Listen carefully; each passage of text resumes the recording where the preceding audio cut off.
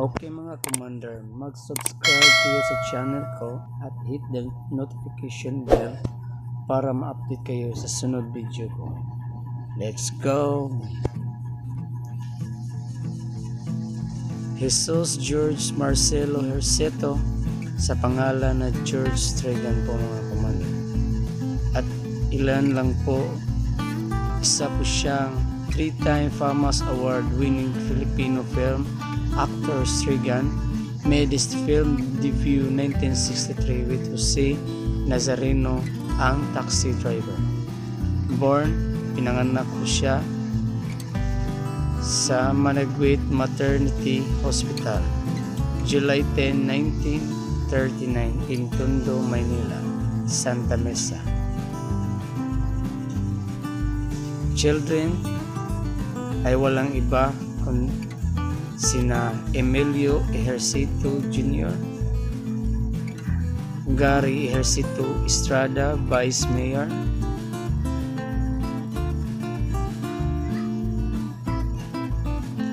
at Jerome Ejercito, MB PBA, Cager. Siya po yung player ng Rain or Shine. At pangalawa ay ang pangatlo, Court Joseph Ejercito.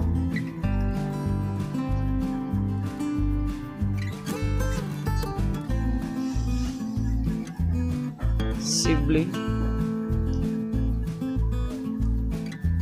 Sina Joseph Estrada, former mayor ng Maynila and former president ng Pilipinas po. Si Joseph Estrada. Yung pangalawa ay si GC Ejercito. Yan po yung kapatid ni Joseph Estrada po.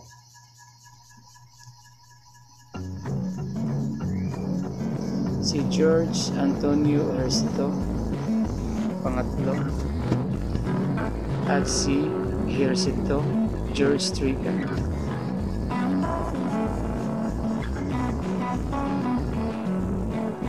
At si Pilarica Ejercito.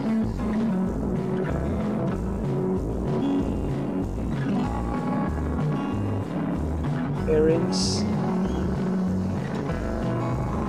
Sina Maria Marcelo 1921 Carnival Queen. Engineer Emilio Ejercito Chief Department of Public Service City Hall in Manila. FAMAS Award.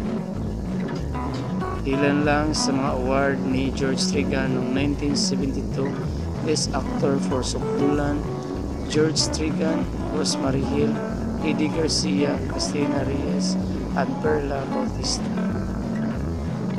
At pangalawa, yung Best Supporting Actor, 1978, for Kid Brother, Joseph Estrada and George Strigan. At sa pangatlo, Famas Best Actor in 1975, Lumapit Lumayo ang Umaga by George Strigan Sr. at pangapat Best Supporting Actor on 1986 by Ana Marie Gutierrez, Olivia Ortez, and Alauna Alegre and George Reagan Sr. Panglima Best Actor 1977 by George Trigan, Eddie Garcia, Susan Parker. Early life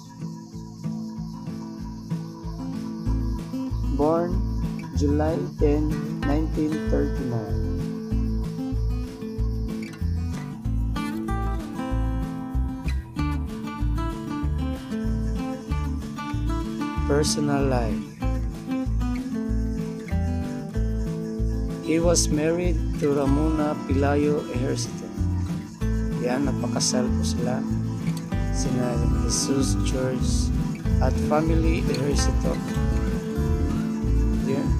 Namatay po yung mama niya noong uh, yung edad ng 79 years old. PBA player. PBA player, PBA Rain or Shine Jerome Ejercito.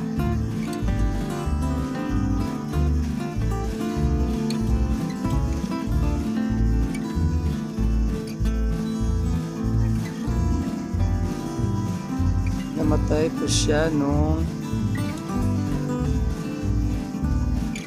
August 8, 1988 sa sakit na bone cancer.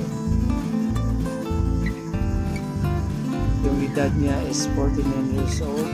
Bata pa si Josito mamatay sa ospital ng Our Lady of Lourdes Hospital Santa Mesa. Walong buwan siya nagsacrifice sa bone cancer despite of rumor that don't forget to notification bell and subscribe my channel.